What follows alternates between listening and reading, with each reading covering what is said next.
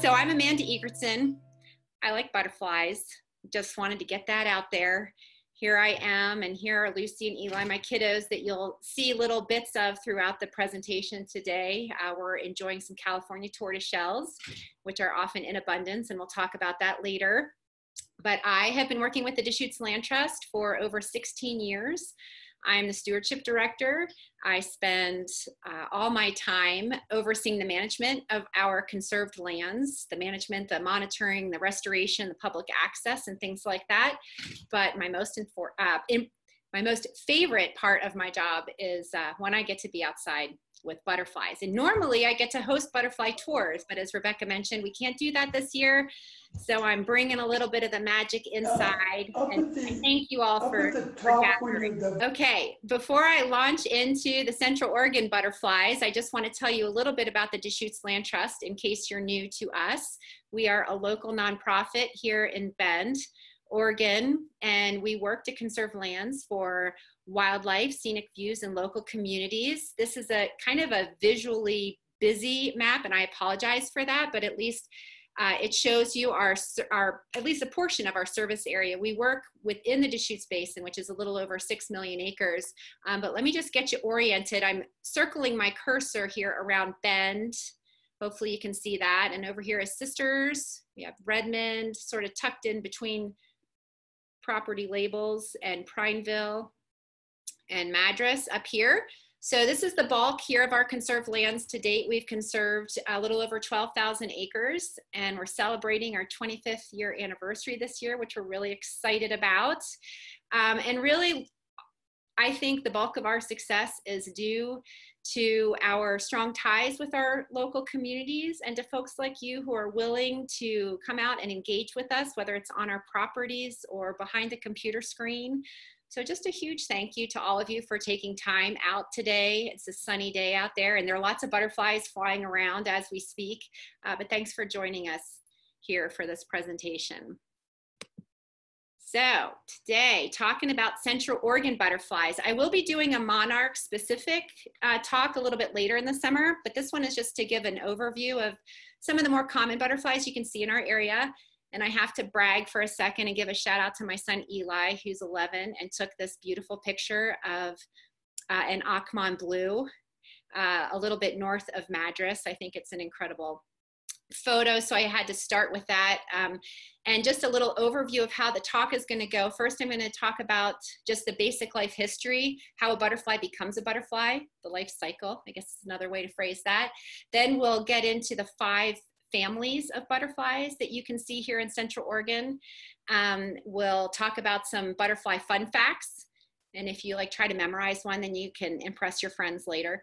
Um, and then we'll wrap it up with just some simple things you can do around your home if you are interested in helping butterflies and other important pollinator species.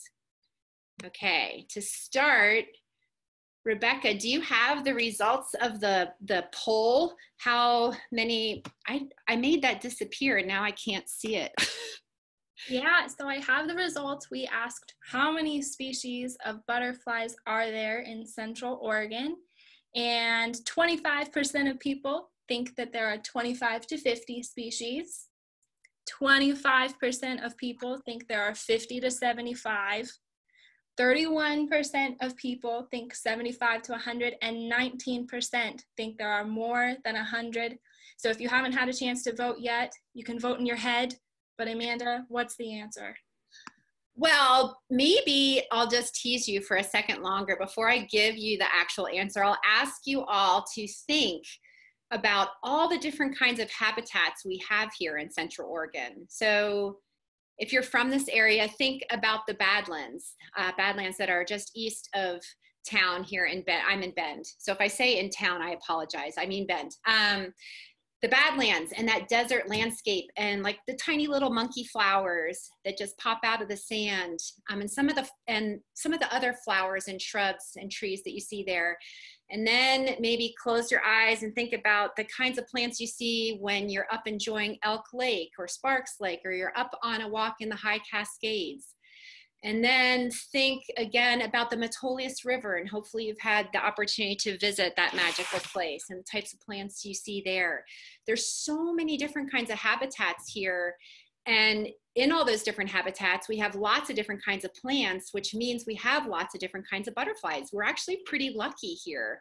Um, butterflies are very tightly tied to specific species of plants. And we're going to talk about that more in just a sec. But since we have so many plants, we got a lot of butterflies. The answer is actually over 100 species. We have about 130 species here, which I think is pretty awesome. So let's get on to talking about them. How does a butterfly become a butterfly?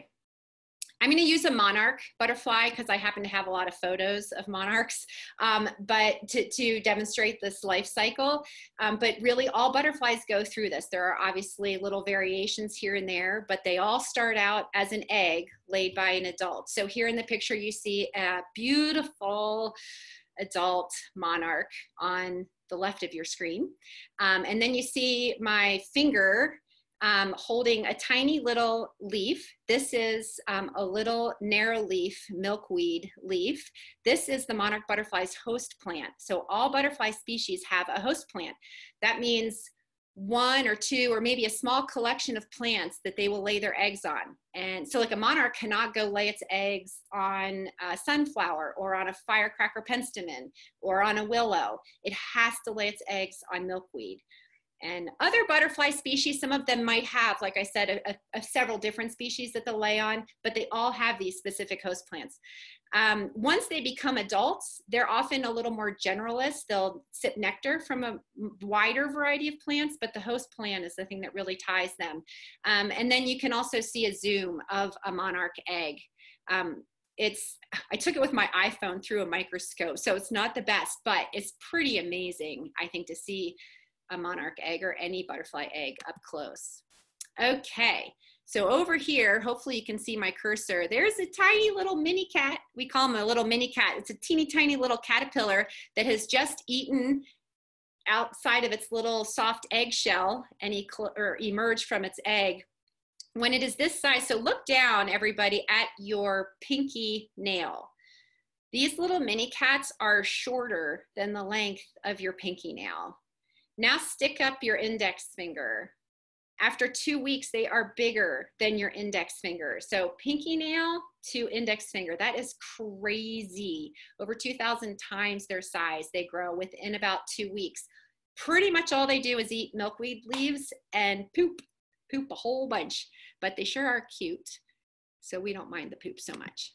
Um, after they've reached their full length, uh, and during, I should back up and just say during that process, they go through what are called instar stages. So they they grow, grow, grow, and that skin gets stretched pretty tight, and then it pulls off and it sheds, and it often eats that skin because there's a lot of good nutrients in it, and then it grows more, and it pops off that skin and eats it, and the monarch butterfly caterpillar goes through five of those stages before it reach, reaches its full, full size.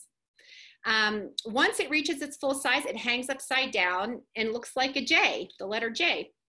Um, it spins a little silk pad that hopefully you can see. They're attached to the milkweed leaf. And it just hangs there for like 12 to 24 hours. And if you look at your screen, you see the little antenna um, on the bottom part of the J, so hanging down. And those antenna in this picture are still kind of perky. They're kind of upright.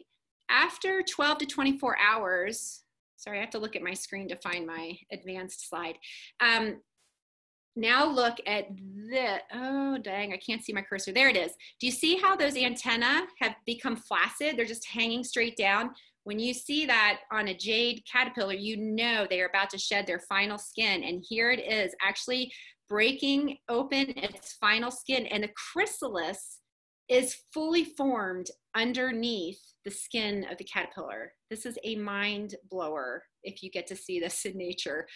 It's not like a moth that will form a cocoon around itself. It actually has the chrysalis underneath. Totally crazy.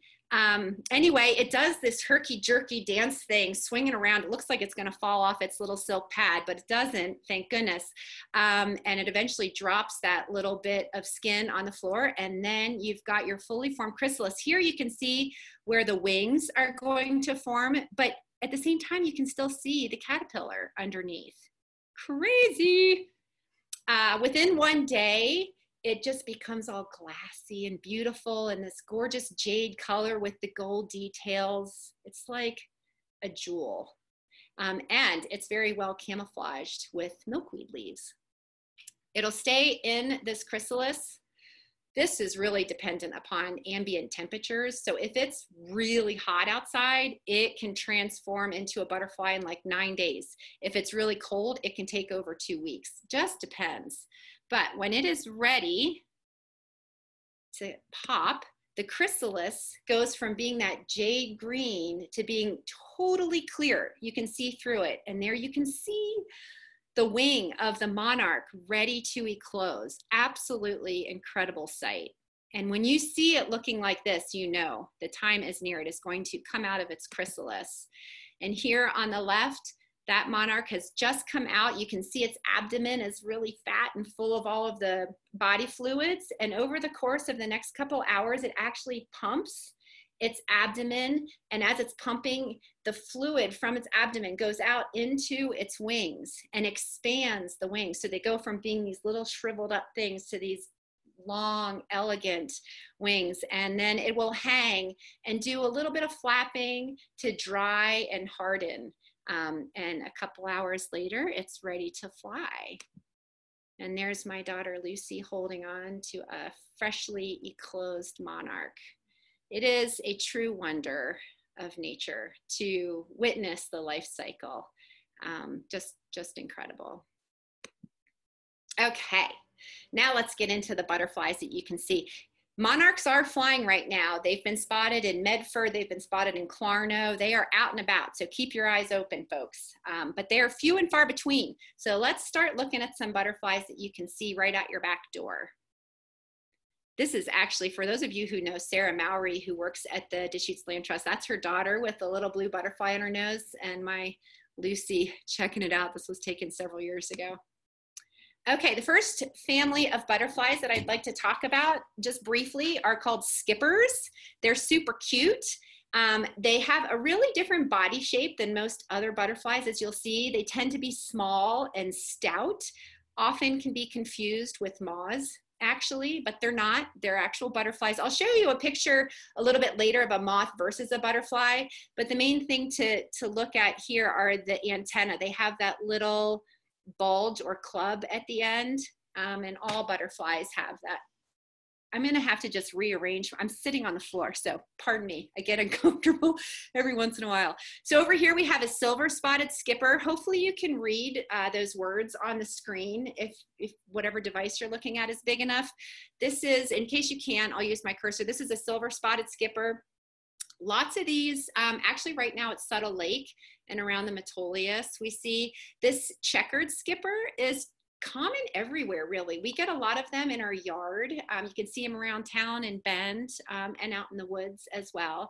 And then the woodland skipper. There are several skippers that have this tawny color so they can get a little bit tricky um, but these are three pretty common skippers that you might see out and about then we have a family that are called the swallowtails and parnassians. Um, super common. I wish I could say raise your hand if you've, and I, I can't see, of course, so don't bother. But there's so many two, or excuse me, western tigered swallowtails flying around right now. We actually have several species of swallowtails in this area, like five or so. So they're not all western tiger swallowtails, um, but this is by far the most common. And they're everywhere. They're in the woods, they're by the Deschutes River, they're in the gardens. If you have a mock orange bush in your yard, you're definitely getting ambushed by these guys now. Um, some people confuse these with monarchs, and I think it's really just because of the size. They're they're big butterflies. Monarchs and swallowtails are some of the biggest butterflies we have here. But as you can see, these guys are very buttery yellow, and the monarchs were largely orange. So now you know, these are swallowtails. Another really common swallowtail, especially in the Metolius area, is the pale swallowtail, which is on my son's nose here. Don't mind, I pretty, probably every picture of Eli that you'll see in this, there are a few, he'll have some wild colored hair. That's just his thing. Um, but there's a pale swallowtail and here beside the Western tiger swallowtail, you can really see the difference. Western tiger, super buttery yellow, pale swallowtail, very pale. Main difference between the two had to put this in. These I don't see as often around here. Um, I have seen Oregon swallowtails on Pilot Butte. I saw this one, actually took this picture at Whychus Canyon Preserve, if you've been out there. I see them more um, around the Madras area, but do you see the black here? The Western Tiger Swallowtail does not have that. So let me go back for a sec and look at the zebra stripes on the Western Tiger. And then look here. They're pretty easy to tell apart. The Oregon swallowtail is a state insect. So that's kind of cool. Um, and then another, not super common, but you can see these guys uh, in this family. This is a Clodius parnassus, which is a real mouthful. Um, you don't have to memorize that. There will not be a test at the end, uh, but they're rad looking. Check that guy out. Um, you can see these along the Metolius. The best bet if you want to see one of these is Iron Mountain. Guaranteed, every time I go there, I see Clodius up there. The cool thing about the Parnassus guys are their their wings are like wax paper. They're so different from every other butterfly species. If you've ever held a butterfly in your hand or looked at one up close, you'll you know that they're kind of powdery almost. Um, these guys are not at all like that They're just like wax paper, totally wild.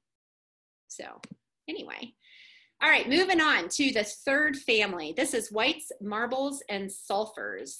And I love this one. This is called the Sarah's orange tip, super cute.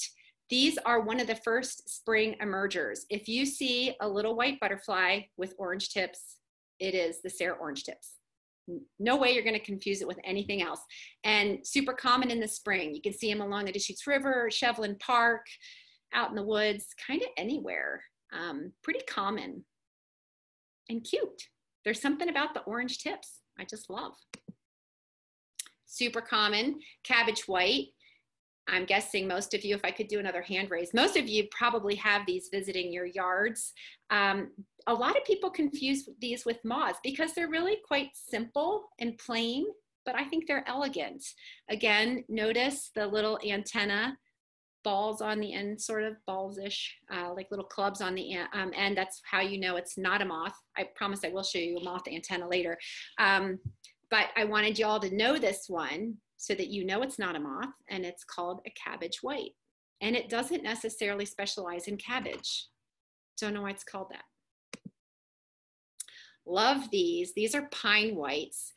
These are tricky to see. It's rare to find these on the ground, I think. Um, maybe you've been lucky and you've seen them on the ground. Most of the time, mid to late summer, if you look up in the trees in a pine forest, you will see little white butterflies flitting about way up high in the pine trees, and those are typically pine whites they actually lay their eggs on pine needles and the little caterpillars eat the pine needles, which is pretty uncommon. Sulfurs. There are lots of different types of sulfurs around here. You can go ahead and call any medium-sized yellow butterfly, you see a sulfur. and you'll probably be right. Um, not big like a swallowtail. These guys are, are definitely way smaller than a swallowtail. Um, and they are so cool. Um, I need to put on my reading glasses and get up nice and close. I encourage you to do the same. They have pink antenna. They all have a little pink edge. They've got big bulging green eyes. It is so cool. Sorry, I, I was getting a text. I want to make sure Rebecca wasn't trying to get my attention. Um, anyway, lots of different kinds of sulfurs around here. Like I said, if you're at the Metolius Preserve, which is one of my favorite places to butterfly, mostly western and clouded sulfurs out there. Now we're getting to the fun stuff. The gossamer wings, my favorite group. Doesn't gossamer sound awesome, romantic? I don't know. It's beautiful. The trick with some of these guys is they can look really similar on the top and totally different on the bottom. So I'm going to show you a couple examples of these so you can start to to get the idea. I often will get a phone call or an email saying, I saw these beautiful blue butterflies. They're tiny little guys and they only live like for a week or two. Um, but I saw these beautiful butterflies. What were they? And I always have to say, I have no idea, like, unless you can send me a picture uh, of the, the underside, like when it closes its wings, there's, it's really hard to tell them apart. Okay, so these guys, look on top. These are spring azures. They're also called echo azures, but I like to keep the name spring azure because they are an early emerger. Uh, they come out really early in the spring, like the orange tips do. So I just think spring azure is a good name for them. Okay, hold on. Okay, this is what they look like underneath. Really fun, but kind of like a chaotic looking pattern of little black dots, right? Okay, so this is top. That's the bottom or the, technically it's called the ventral side because it's near their bellies. Okay, this is the bottom of an Anna's blue. Looks totally the same on the top. Once the butterfly closes its wings, you can see it's really different. Here, I'll show you spring azure underneath, Anna's underneath. And then the best butterfly in the universe, well, I probably shouldn't say that. I should probably say the monarch is, but really my personal favorite is the Melissa blue.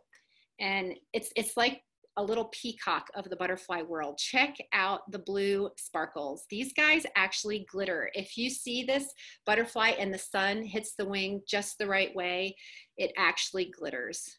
Unbelievable. And then the orange, I mean, really, can't beat it. Other members of this family include cedar hair streak, Here's a cedar hair streak on some showy Townsendia. Super common from backyard to desert and everywhere in between. See these guys all over the place. Purplish coppers, not as common, really beautiful, super fun. A really great way to find coppers um, in mid to late summer is just to find a patch of, a really like dense patch of yarrow. They love that stuff. Okay, that was a very brief overview of the gossamer wings. There are so many more species, but we don't have all day, just a little snippet. So let's move on to the last family that we have here in Central Oregon. These are the brushfoots. And I just want to point that you can see arrows all over your screen. Um, insects have three pairs of legs, okay, six total on all those previous slides I showed you, you can actually, not maybe in the particular picture I showed you, but all those butterflies have very distinct legs, all six, you can see. These guys, it looks like they have four, and that's because this very, the, the very front pair is reduced in size. It's really tiny and it's covered with itty bitty little hairs so that they look like brush, like a, a paintbrush or um, one of those brushes you clean out a water bottle with, bristle brush. I don't know what they're called. Anyway, so they're called brush-footed butterflies or nymphalidae if you want to be fancy. Um, anyway, so it does have six legs. It's not cheating. Um, they're just reduced. And then this guy here has a, a, little comma on him. So this is part of the, the group of brushfoots known as commas. Okay, I had to put this one in because this is one of the friendliest butterfly species there is. Red admirals are so easy to get to land on you. Just hang out and hold your hand there and it'll probably land on you. Super fun, very common backyard visitor. If any of you are birders and you're familiar with Empidonax, uh, flycatchers, it's like the bane of the birding world trying to decipher between flycatchers um, unless they're singing, then it's maybe a little bit easier. Butterflies don't sing, unfortunately. Um, but these, the fritillaries can be super tricky. So you see on this child's hand, there's a fritillary with its wings open. It's kind of like the blues. If you just see the top, it's really hard to tell what it is. Once it closes its wings, it's a lot easier. This happens to be a great spangled fritillary, one of the larger fritillaries. Um, not the great spangled fritillaria is not super common. I do see them occasionally out at our Metolius Preserve. Um, the Hydaspes and Zerene fritillarias are a little more common around here. This is the Google-eyed wood nymph. We have several, I want to maybe four different species of wood nymphs in our area. And I love googly eyes. I don't know why, but that's why I included this one. I love that it's called the Google-eyed wood nymph. This is actually a super cool adaptation. It's awesome for predator avoidance. One of the main predators of, of butterflies, aside from spiders, is birds. And so when a bird sees this wing, it thinks that its head is, you know, out there on the wing where the eyeballs are, and it'll come in and take a bite of the wing instead of the body. And the butterfly can fly away and be totally fine. They can fly quite well with tattered wings. And I've actually seen wood nymphs with a little triangle missing in the top. And I swear that's where a bird beak was. Okay, super common sighting in Central Oregon are mass collections of California tortoiseshells it never fails. Whenever these mass collections population explosions occur i get lots of phone calls saying there are monarchs everywhere! And i so wish that it was true and i hope that someday it is true. Uh, but for now if you see a gazillion orange like medium sized orange and brown butterflies it's california tortoiseshells they're the only ones that cluster in these ridiculous numbers. Um, and their populations just go through natural cycles where for several years we'll have gobs and gobs and then you won't see that many for a while. Uh, it's just the way they are. Um, but they are you'll really commonly see them hanging out on trails uh, clustered together like they are in this picture that sue anderson captured. They're also pretty friendly. Um, i put this one in because this is just such a joyous photo. Um, but this is a great arctic and something really cool about great arctics is that they only come out every other year. So they're flying right now. You got to go out and see them. They're really pretty. They're they're they're kind of subtle in their markings um, but they have pretty big wings and it's just kind of fun to watch them flying elegantly through the forest. Um, but it takes them two full years to go through their complete life cycle. They actually they pause at uh, on two different winters in the larval stage, so as a caterpillar. Um, and you only see them on even years. Crazy. So that's super fun. They're out now. Go check it out. Another shout out to my son Eli. He took this beautiful photo of a mourning cloak that was warming its wings in the early spring sun along the Metolius River Mourning cloaks and the California tortoiseshells are the two most common species that you'll see in this area in the winter when we have a really unseasonably warm day. Excuse me.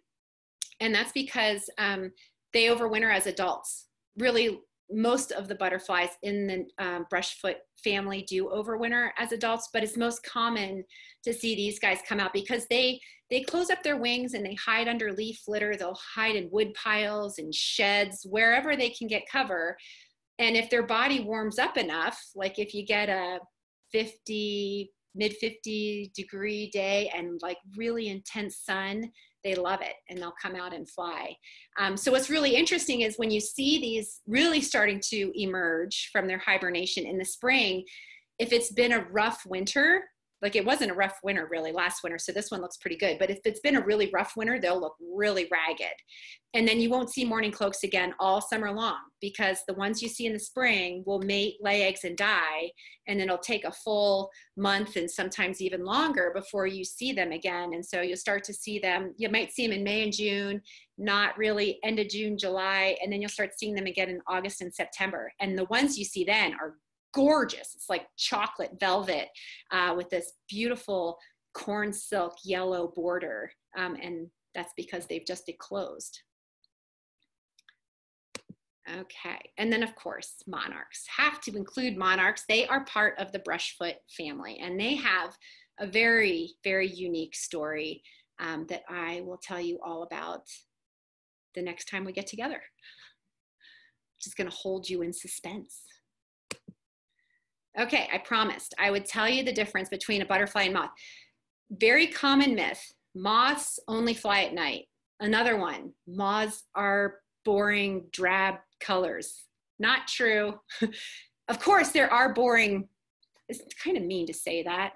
There are um, not as exciting colors sometimes in the moth family. Um, and of course, there are lots of moths that fly at night, but there are also wild and crazy looking moths that fly in the middle of the daytime, including this awesome, elegant day moth. I actually think it looks kind of like rainbow sherbet or like maybe a Dr. Seuss creation. These guys go bonkers in the woods at the Metolius every summer, and I love seeing them. Their bodies are like big and fuzzy. They're just hilarious, and they fly like what total spaz. Um, but if you focus on the antenna where the arrows are pointing, you can see major difference here between the antenna. So again, the butterfly has just the long, thin antenna with the little swelled portion at the tip. And female moths often will just have the long, slender antenna with nothing at the tip. And the males tend to have the really bushy, um, the really bushy antenna. They look kind of like a fern or like an old guy's eyebrows, really awesome. And that is just to increase the surface area of the antenna, um, which helps it be more receptive to the female's pheromones. So there you go. Okay, moving on to the butterfly fun facts, fun butterfly facts. Say that three times fast. Here's my glorious spring azure um, I'm pointing to the antenna because it has striped antenna, which is cool. Um, but really, I'm pointing to the antenna because butterflies can smell with their antenna. Butterflies can also taste with their feet, which is a good deal if you spend a lot of time walking around on flowers butterflies are environmentally uh, conscious. They carry their own straws around with them. They sip through what is called a proboscis, which is a long, hollow tube. And in fact, if you ever get to see a butterfly actually eclose from the chrysalis when it comes out, I've watched this with monarchs, the proboscis is actually in two separate pieces and it zips the straw together and rolls it up underneath uh, it, it, spirals up. I don't think I have a good picture of that uh, when it's not in use, but pretty neat, sipping straw. Um, and they're solar powered. So here's a fritillary. Um, again, not sure what kind because I can't see the underside, uh, but it's warming its wings. Butterflies, you will not find butterflies flying around when it's cold or rainy outside. When it's rainy, they have to close their wings and hide under vegetation so the scales don't get washed off of them. Um, and it also tends to be really cold. So warm, sunny days. The general rule of thumb is if you're comfortable outside in a t-shirt, then it's a good day for butterflies. The other cool thing about butterflies you might see them doing sometimes is gathering on damp soil, like these pale swallowtails and the checkerspot. Um, this was along the Metolius River, I believe. Um, but really anywhere there's damp soil, the but uh, certain butterfly species especially um, will gather and they sip salts and minerals through their proboscis. So they can't get everything they need from flowers and they'll, they'll go to the damp soil. If we go for a long period of time and they can't find damp so soil, they actually have the ability to spit through their proboscis, um, release the salts and minerals in the soil, and then suck them back up. Pretty cool. Okay. So hopefully now you're feeling really inspired and full of joy because you've just seen a whole bunch of butterflies and you'll be motivated to do something to help them. And the cool thing about helping butterflies is that you end up helping all the pollinator species, or at least the bees as well, which desperately need our help. And please do not ask me bee questions at the end because I am just now learning about bees and I probably can't answer your questions about bees, but I'm working on it. Um, anyway, very simple thing you can do is plant a pollinator garden.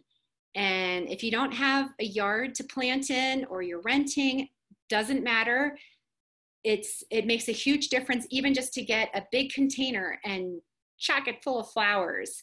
Really anything. There is no size limit. Like you don't have to have a certain amount of land to make a difference. You can just do it in a container pot. That's the awesome thing about this. Um, if you do have a little bit of space, um, planting a diversity of flowers is great. Planting native flowers is even better. And we have a great list of native pollinator friendly Central Oregon hardy flowers on our website. And I bet Rebecca can, I don't know, post a link in the chat or direct you um, afterwards where you can find that on our website. But a really great thing to do too is to try to have different flowers blooming at different times so that at any time, spring through fall, you've got something blooming. Um, one of the neat things I think about butterflies is that different species emerge at different times of the year. And it all like it depends on how they overwinter because some butterflies overwinter as an egg, some as a caterpillar, some as a chrysalis, like the swallowtails, pretty cool, um, and some as adults. So depending upon when they come out, they, they need food um, and shelter and moisture. And so having things that bloom all through the growing season is great.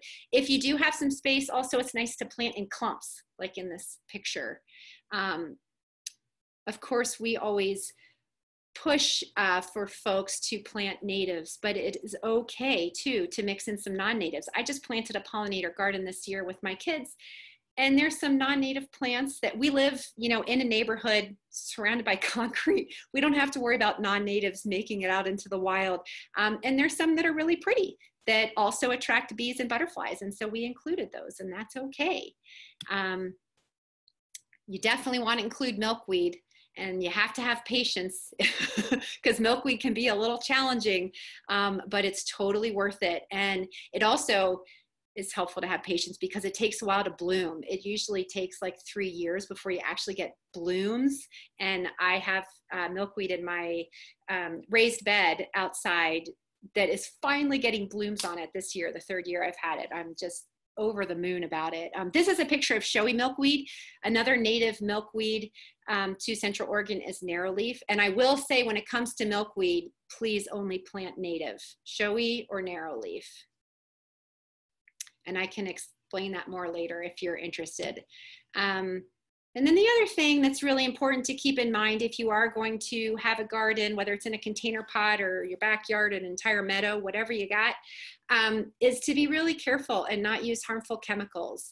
One of the number one challenges that pollinators are facing um, is a class of chemicals called neonicotinoids they are awful. They are systemic. So when they're applied to the plant, the plant tissue absorbs it and it is expressed through pollen, through nectar, it's in the leaves. So any stage of butterfly, like if there's a caterpillar chewing the leaf, um, it will likely die. If a bee comes along to gather pollen or sip nectar, it will uh, nectar, it'll likely die. It, it does depend on how much of the chemical is on the plant but even a small amount can have really awful impacts. So please be sure when you're shopping that you're shopping at a place that only sells plants that are neonicotinoid free. And with that, I think I'll take a drink of water and open it up to questions. Gosh, I just... so uh, I'll give you a break from talking for a moment. Um, just a moment though, because I don't like to hear my own voice, but um, we'll turn it back to you. We've got some good questions, and I will um, start it off with a couple that one that maybe I can answer while you finish drinking your water. So there is um, a question here that says, what are some tips for IDing butterflies and what are some local guides and things like that? So Amanda recently gave a talk um, last winter, um, I guess maybe now a whole year ago, about um, monarch butterflies. And after that talk, we created a blog post about some good monarch, but also other butterfly related resources. And that included some guidebooks. Amanda has one, and she's told me it's her, uh, her there it is, that's right there, her monarch um, and butterfly book. Uh, it's always with her, it seems like. Um, so we have that resource already, and, and we'll be sure to share that as well as some pollinator garden resources and um, a bit more about milkweed and monarchs and what the land trust is doing there. Um, so I think that kind of covers that question. Um, Amanda, do you want to add anything? Yeah. Yeah. May I just add just maybe two things to that? Um, one thing is don't you don't have to try to memorize every. I mean, I went through a lot of species today, and the reason I did that was just to give you a, a, sampling of the incredible diversity we have here. But usually when I'm leading a tour um, outside and we're talking about butterflies, I say like really, if the first thing you can do is differentiate a monarch from all other butterflies, that's a huge step because a lot of folks, you know, see a butterfly and assume it's a monarch. and then I think the next step would be to start to recognize the butterflies in the different families. Um, so when I'm out like on a two hour tour, we'll, we'll start to work on that. And it's like, don't necessarily worry about the fact that it's a spring azure or um, a western tiger swallowtail just like think about the bigger picture and that you know starting to group butterflies into the different families is a is a good way to start i think and then i will just say i mean i don't have a deal going with bob pyle or anything but this book is incredible because it shows you all the counties in the state. So you'll know it really narrows things down for you. He also has these really great pages that show like um, i don't know if i can i might not be able to find one fast enough but it'll like show you a whole bunch of wings side by side and that's really helpful and just gives you lots of great information. Fun little tidbits so that you feel like you get to know the individual butterflies. It's not just about naming it you know just because you can name something doesn't mean that you really understand it but you can actually read about the host plants and the nectar plants and the types of habitats and it's a way i think to really feel closer to nature okay that's it that was great. Thank you for sharing. And that answered another one of our questions too. Um, the next one, maybe jumping back into moths and butterflies. Can you tell the difference between a butterfly and a moth when they're still a caterpillar? Ooh, that's harder. Um, a, a lot of, oh, no, you can't. I was gonna say, sometimes you'll hear people say, well, if it's hairy, it's a moth if it's smooth skin it's a butterfly it's not always true though it's it's really hard you know okay here here's another great resource um, if you really want to geek out on this like obviously i do but this is the life histories. This is probably totally obnoxious to hold this up like this. I don't know if anybody can actually see it but it's the life histories of cascadia butterflies. It's by david james um, and another guy. I'm sorry i know david james i don't know the other guy. But it actually shows you like a million every butterfly that exists here it shows you every instar stage of every butterfly's caterpillar. So like crazy. Um, so if you really want to get into caterpillars um, that's a good one there's another one too and i can give all this to you rebecca afterwards i don't know if all this is on our website but this is caterpillars in the field and garden this is another really good one I will confess that I'm I'm not really good with caterpillars because they're hard to see. You know, every once in a while you'll you'll see one, um, and you'll be like, "What's that?" And um, I always have to look it up unless it's a monarch or a swallowtail. I pretty much don't know. Um, so there is not one tried and true way. I am sorry. Wish there was. But I can tell you, you can always tell the difference between a butterfly and a moth when it's in the chrysalis or cocoon stage because the butterfly, as you saw, creates a chrysalis. And of course, all chrysalids look different, but it's always that one shape that's usually suspended from something, whereas a moth creates a cocoon, which tends to be like a bunch of woven things around its body. Very different appearance. Thanks, Amanda. That was great. I love woven things around bodies. Um, this is maybe a quick one and maybe you have the answer, maybe you don't. I'm going to test you. Um, what is the biggest butterfly? In the world? I'll tell you. The, I don't know. The biggest butterfly in the Pacific Northwest is the two-tailed swallowtail. Boom! I knew that one. nailed it. How big? Do you know how big it is? Like yeah, it's, it's yeah, it's like that. It's it's it's a little bit bigger than a western tiger swallowtail and it looks a lot like the western tiger swallowtail but instead of you know the west the western tiger swallowtail just has like one tail on each hind wing this one has two on each hind wing yeah you're 100% so far um, this one you touched on it a little bit but why are spiders big predators for butterflies because they're mean. No, I'm just kidding. Spiders are important and I love them. um, really wild, if you ever see this, um, crab spiders that reside in flowers, what they'll do, it's pretty cool. So a butterfly will come down to sip nectar And as it's perched on the flower, it's got its proboscis down, getting the nectar. The crab spider is hiding inside the flower and it'll just start sucking up the belly of the butterfly. And it is a wild thing to observe. Um, but it's cool you gotta you gotta respect that right? That's a pretty cool strategy. Um, so if you ever walk past a plant like a flower and you accidentally like let's say it's on a trail and you're hiking somewhere and the vegetation is kind of closed in on the trail you walk past you accidentally brush it with your leg and you see there's a butterfly on a flower. If that butterfly does not move it is currently the meal of a crab spider without a doubt.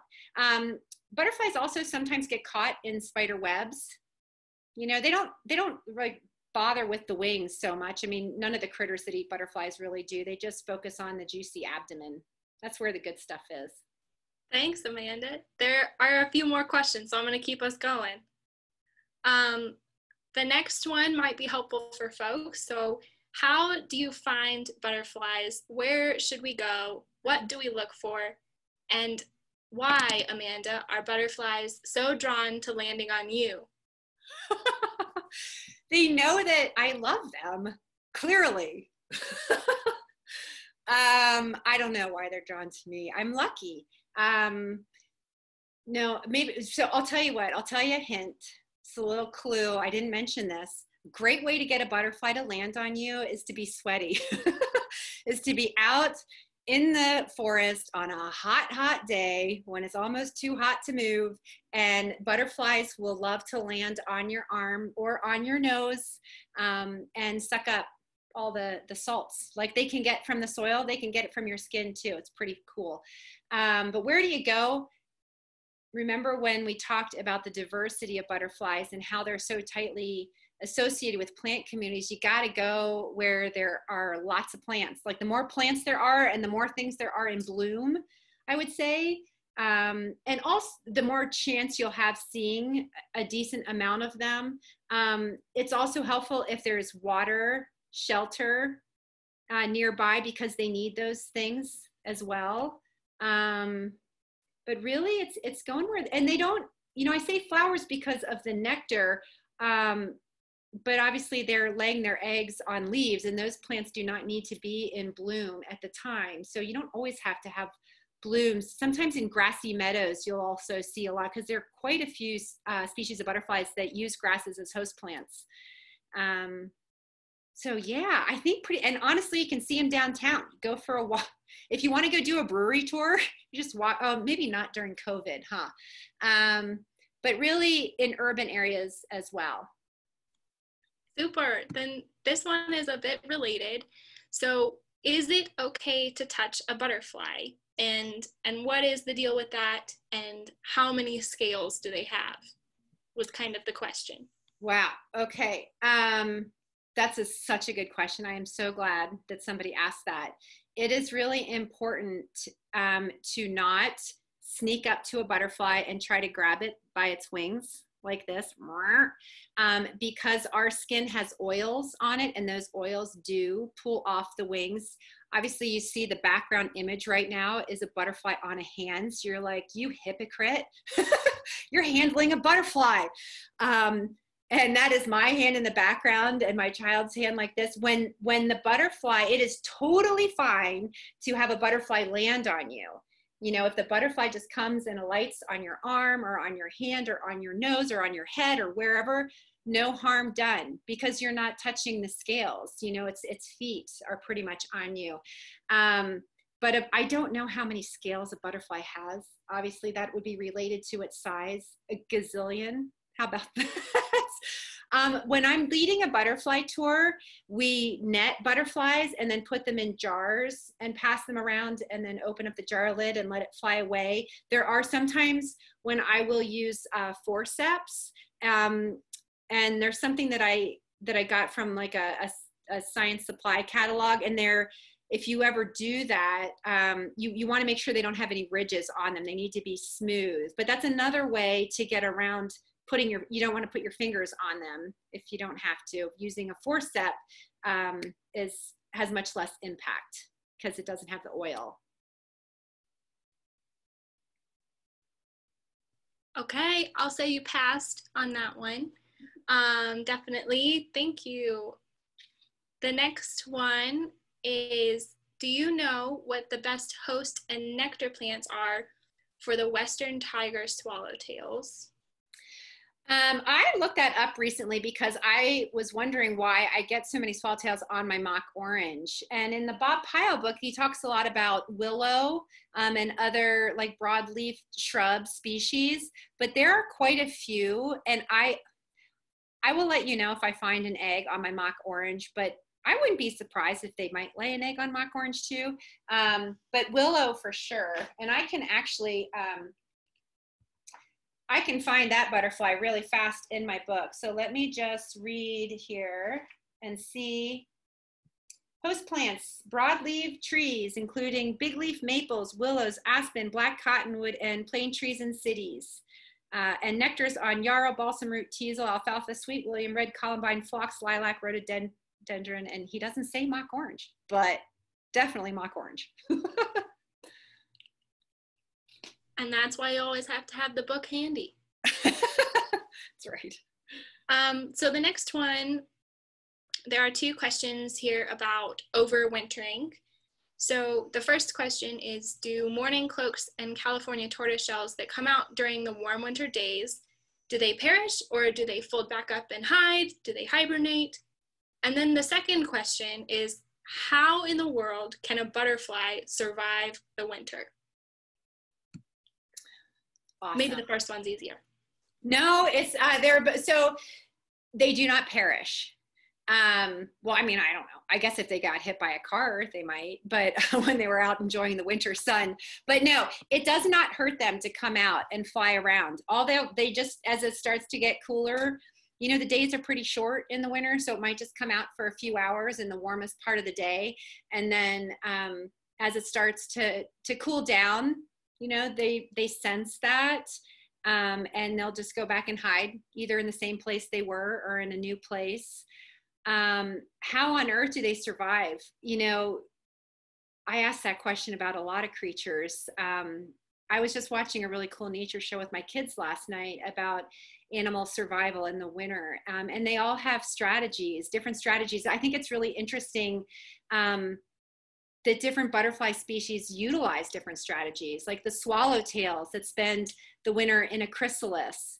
Um, and they seem to have good success doing that. And in fact, they can sense environmental conditions outside of their chrysalis. And in the spring, if they don't feel like it's going to be a good year for them, they can hang out in their chrysalis an entire another year before they eclose. Um, other species, you know, hanging out as a caterpillar under the leaf litter burrowed slightly in the ground. Um, and the adults, I think the same. They're they're in something called reproductive diapause. So when they come out and about in the winter, there's really nothing for them to eat, and they don't mate at that point. They're just flitting about. Um, and when they hibernate, their their body just really slows down. It's like a sort of like a state of torpor um, or hibernation that frogs and other critters go into. I, I don't know the science behind it. I can't tell you about antifreeze in their wings or anything like that. Um, but it is it is amazing for sure. Thanks, Amanda. Well, the last question was if you could tell us about your favorite butterfly and why that is. Um, and we've got just a couple minutes left. I don't know if you want to say anything about the butterfly and then um, any final words about butterflies until next time. My favorite butterfly is the Melissa Blue.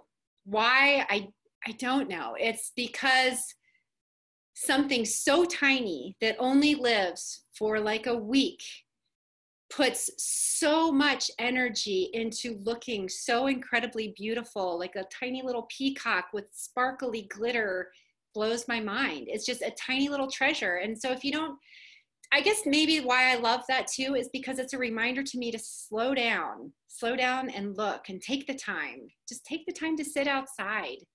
Um, and maybe those will be my parting words as well, especially, you know, in this crazy time, this crazy world. So much going on. I often feel totally ungrounded. And my solution for getting my feet back grounded is to go out and be peaceful in nature and just watch these little miracles happening all around me. Well, thanks, Amanda, so much um, for sharing all your great butterfly knowledge and um, helping us all have a little bit of hopeful butterflying time on a Wednesday afternoon. Um, if you didn't catch it earlier, folks, Amanda is going to be doing another presentation focusing in on the monarch butterfly. You might have heard that the Deschutes Land Trust is doing quite a bit of work um, related to monarch butterflies um, and our pollinators and native plants, specifically those native milkweeds. So if you would like to tune into that, uh, we will have information coming out on that again shortly. Otherwise, thank you so much for joining us. And if you're interested in other opportunities to connect through your screen with nature in some kind of way, um, definitely visit our website to find those other opportunities. And we will see you again sometime soon. Thanks, everyone. Thank you, Thank you so much.